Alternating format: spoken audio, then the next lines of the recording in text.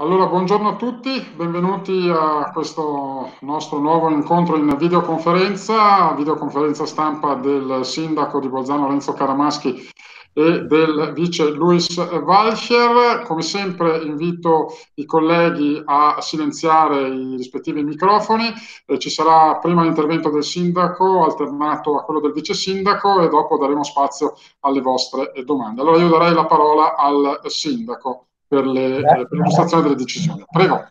Grazie, benvenuti. Allora, partiamo con la prima delibera. Abbiamo rinnovato i membri del nucleo di valutazione eh, con la spesa di 14.880 euro per tre anni sono stati rinnovati il dottor Andrea Zeppa, che non prende niente, Günther Bernhard, che è di lingua tedesca, segretario generale del comune di Merano, e la professoressa dell'Università di Bolzano, Stefania Baroncelli. Il periodo è, eh, scadeva il 31 maggio, quindi dal 31 maggio con un triennio. Questa è la prima delibera. Abbiamo approvato gli obiettivi del PEG, del piano economico di gestione del comune collegato al bilancio. Ciascun dirigente ha concordato gli obiettivi con l'assessore di riferimento e quindi eh, adesso siamo a posto con le scadenze anche se questa emergenza virus ha scombussolato un po' i piani. E passo la parola al vice sindaco per, eh, per le sue delibere e dopo proseguo. A te Luis. Ja, guten Nachmittag auch von meiner Seite. Eh, la prima delibera era eh, il, una proposta di modifica al nostro piano di infrastrutture per inserire il collettore principale della Valdega nel piano delle nostre infrastrutture. Eh, lungo l'Isarco abbiamo già fatto diversi tratti, questo è adesso lungo la vecchia strada statale della Valdega e così praticamente tutte le acque nere della Valdega possono poi essere portate con questo verso l'ecocentra Bolzano Sud. E la seconda delibera era una variante al piano di recupero del centro, eh, zona via Concepelli, via dell'Ai, via Crispi, dove abbiamo inserito il bonus eh, energetico eh, proprio perché nei vecchi piani di attuazione di, di recupero non sono inseriti bonus di qualsiasi tipo e per questo ogni volta dobbiamo inserirlo se richiesto dai richiedenti. Ecco, questo tutto da parte mia. Ok, proseguo. Su proposta dell'assessore personale Monica Frank, abbiamo nominato la commissione giudicatrice del concorso pubblico per esami per il conferimento di sei posti di operaio specializzato ne fanno parte il dottor ingegnere Stefano Stringari con vice supplente Mario Beger. I membri sono l'ingegnere Selene Spomberger e Georg Schlisser. I supplenti sono rispettivamente la geometra, la geometra Claudia Paressinotto e il geometra Stefano Fam. Sempre su proposta dell'assessore Franca abbiamo concesso un contributo minimo ma di 800 euro all'Associazione Micologica Bresadola per l'attività ordinaria dell'anno 2020. Speriamo che possa riprendere e possano andare a fare le solite mostre sui funghi salendo sui nostri monti. Poi abbiamo modificato l'elenco dei profili professionali inserendo alcuni eh, profili che sono già concordati a livello di contrattuale e quindi eh, riguardava soprattutto fasce di operai. L'altro, sempre su proposta del tempo, dell'assessore al tempo libero, eh, abbiamo concesso un contributo al Club Alpino Italiano per attività ordinaria 2020 di 2600, eh, 2600 euro. Sì. Un altro contributo per attività in piscina per anziani, sperando che possa presto riprendere all'associazione UISP un contributo di 750 euro Così un altro contributo alla stessa associazione per attività motoria ludica e ricreativa per la terza età di 350 euro. Abbiamo dato un contributo anche all'Istituto Comprensivo Bolzano IV Oltresarco per il progetto centenario della nascita di Gianni Rodari, a cui è intitolata la scuola. Abbiamo dato un contributo di 1800 euro. All'associazione Palladio per il progetto laboratorio artistico creativo abbiamo dato un contributo, deliberato un contributo di 600 euro. E tutta una serie di contributi che finalmente sono arrivati passando per le commissioni competenti. Contributo alla cooperativa Montessori per il progetto Asilo nel Bosco anno 2020 e un contributo di 250 euro un contributo di 750 euro alla cooperativa Montessori per il progetto Settimane Vacanze dal 6 ai 15 anni, che si terrà quando eh, speriamo non appena sia possibile. Un contributo all'associazione Paper la PAP per il progetto CAMPS 2020 e un contributo di eh, 1000 euro. Poi abbiamo erogato per quanto di nostra competenza una quota costi per la partecipazione ai costi di investimento per le scuole secondarie a cui partecipano i nostri ragazzi. Si tratta di, di un contributo al comune di Merano per 911 euro. Contributo all'associazione UPAD per il progetto Spazio Famiglia, area progetti per minore sostegno della genitorialità, 1200 euro il progetto Città dei Ragazzi che l'associazione FAUCAE dovrebbe organizzare con modalità diverse, le stiamo studiando insieme e vediamo un po' cosa, se ci riusciamo, un contributo di 300 euro. Poi un, pro, un contributo per il progetto Judenkamp alla Musikappelle 12 Magrein, perché sono un progetto per minori che aiutano i giovani a studiare la musica, eccetera, 800 euro poi abbiamo bandito un concorso pubblico per esami per il conferimento di due posti di operaio specializzato settore crematorio necroforo. Abbiamo nominato la commissione giudicatrice del concorso pubblico per esami per il conferimento di tre posti di operaio specializzato elettricista con contratto a tempo indeterminato quarta qualifica funzionale. Attraverso l'Istituto della Mobilità Trenti abbiamo attivato la procedura di selezione di personale amministrativo con contratto a tempo indeterminato di quinta qualifica funzionale con rapporto di lavoro a tempo parziale, 19 ore settimanali.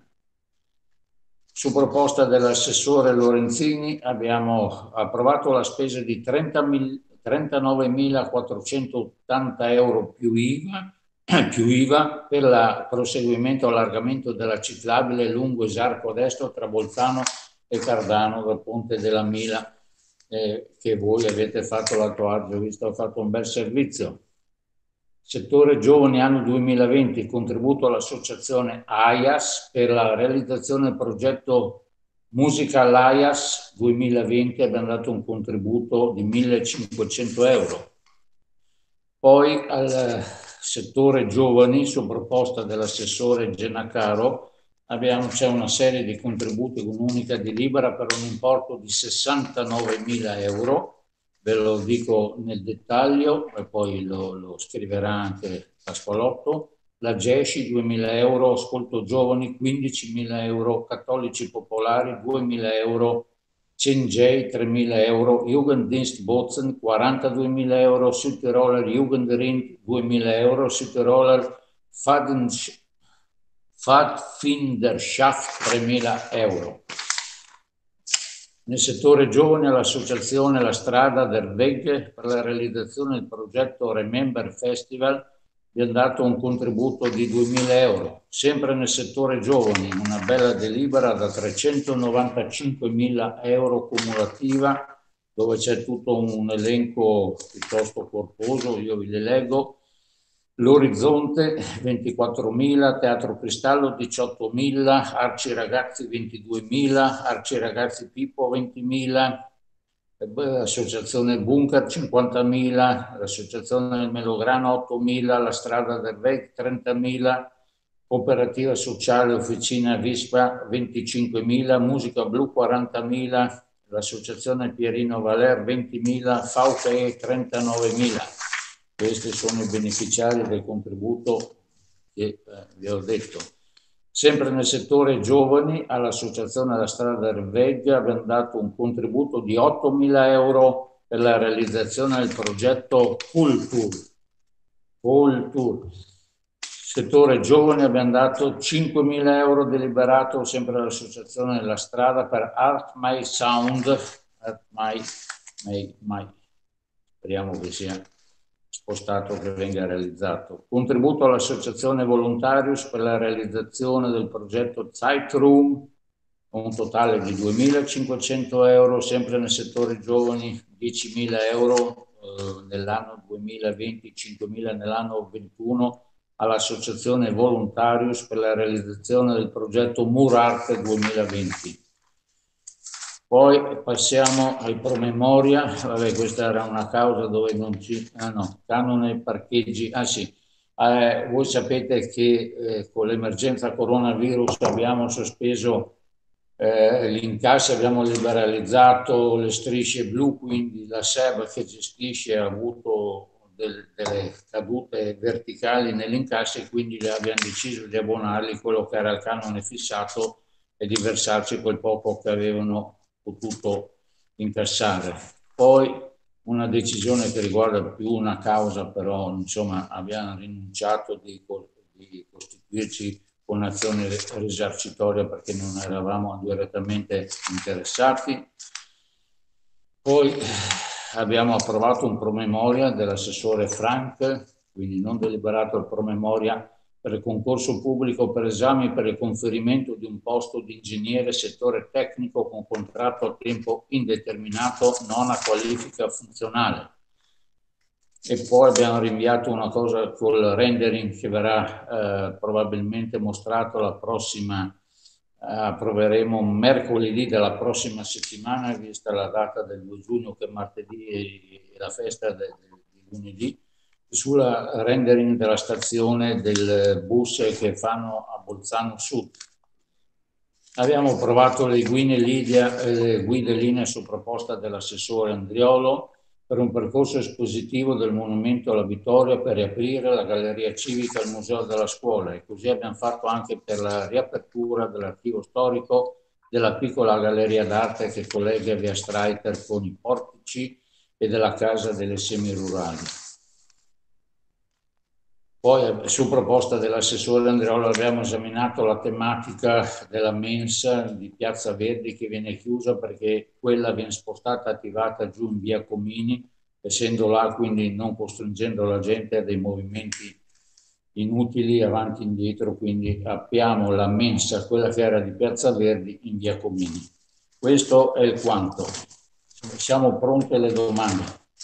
Allora, signor Sindaco, eh, sono arrivate due domande che eh, le giro subito. La collega Antonella Mattioli del quotidiano Alto Adige chiede eh, se su Piazza Erbe eh, la Giunta ha deciso di ridurre l'orario dei locali come ipotizzato dall'assessore Condar. Questa è la prima domanda, poi ce n'è un'altra, ma gliela leggo dopo. Prego. Allora, io ho parlato con il signor prefetto, ho chiesto la convocazione di un comitato dell'ordine e sicurezza pubblica le varie proposte che avevamo già anticipato ma che erano in fase di discussione e di precisione verranno discusse e eventualmente validate, spero, mercoledì mattina quando ci sarà la convocazione, ci sarà la riunione del Comitato per la sicurezza pubblica.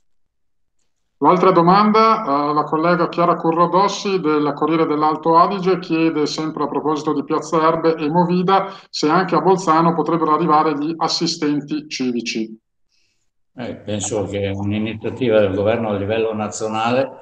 Io non so, mm, bisogna approvarli, bisogna vedere se ce li mandano e questo lo sentiremo poi perché sono azioni del governo tramite il prefetto. Noi avevamo attivato con poco successo, visto il risultato, gli street worker.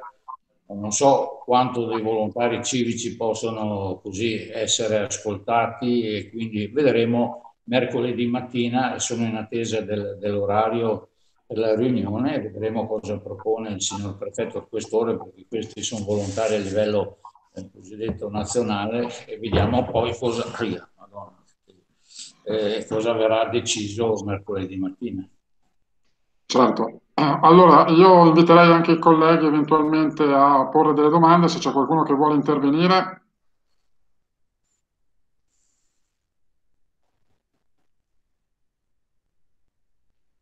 Allora, Eh, sempre la collega Mattioli qui chiede quando, un attimo che è scappata la domanda, dunque, quindi quando verrà proposta al prefetto la, quando verrà proposta al prefetto la chiusura anticipata?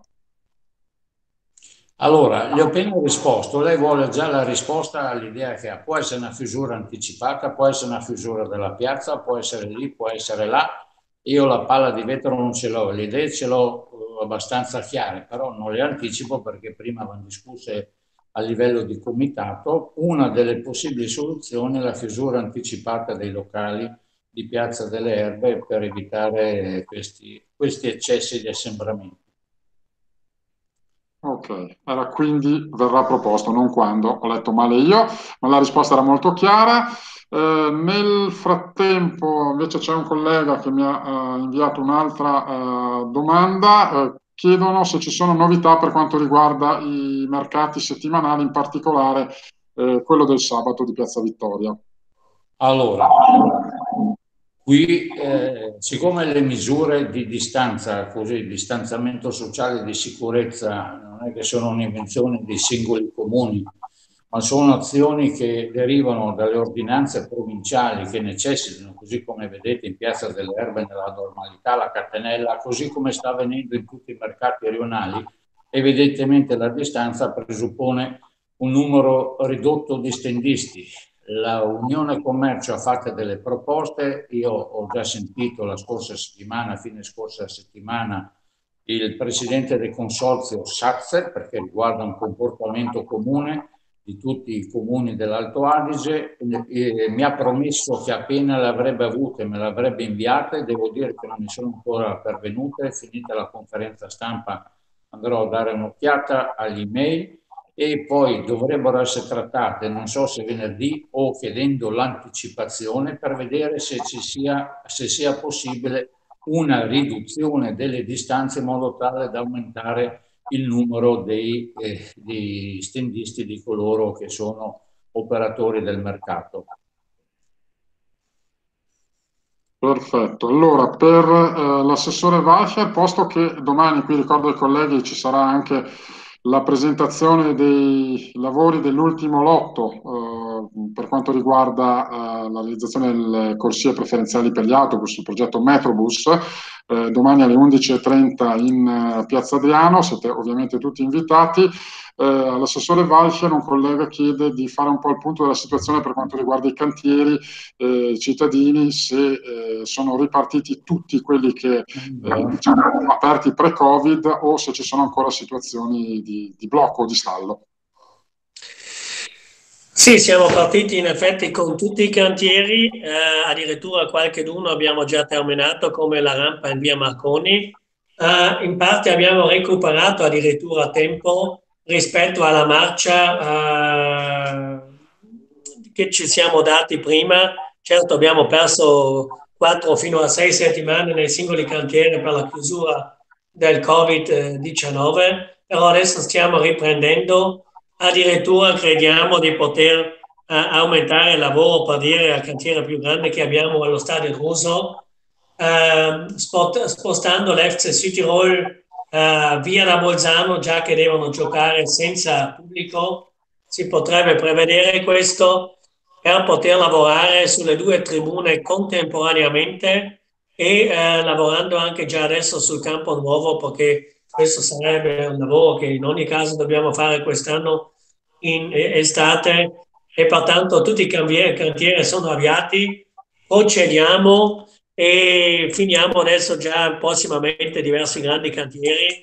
per poi poter uh, affrontare altri cantieri importanti e impattanti come quello in via Fago dove da metà giugno andiamo a chiudere uh, come l'anno scorso di nuovo uh, una parte di via Fago. Bene, io invito ancora i colleghi, se eh, volessero rivolgere delle domande, a farlo. Eh, diversamente, eh, se ci sono, non so, eh, Sindaco, ci sono altre cose da comunicare rispetto alle decisioni e promemoria di giunta di oggi? No, direi di no. Era solo rovinato la giornata a qualcuno ieri, ma fa lo stesso. Era la prima dopo due mesi e mezzo, ma fa parte del lavoro di sindaco. Va bene. Vice sindaco, vuole aggiungere qualcosa? No, aggiungo al momento niente, tanto domani una grande conferenza stampa e lì poi in due ore ho tutto il tempo a, a dire quello che ho uh, sullo stomaco e sul cuore. Va bene. Quella conferenza stampa, scusa Luis, bloccheremo via Druso, vero, per fare la conferenza stampa alle 11. Sì, ma io all'ultimo cambierò il posto così, bene. come fanno sì. nei film. Sì, sì, domani, esatto. Va bene, l'appuntamento è comunque alle 11.30 in Piazza Adriano davanti, davanti alle poste. Ok, vedo che non ci sono altre domande in arrivo, allora noi eh, concludiamo qui questo nostro incontro, ringraziamo come sempre il sindaco e il vice sindaco, i colleghi che ci hanno seguito e appuntamento alla prossima. Grazie a tutti. Arrivederci, buon lavoro. Buon lavoro, gute Arbeit.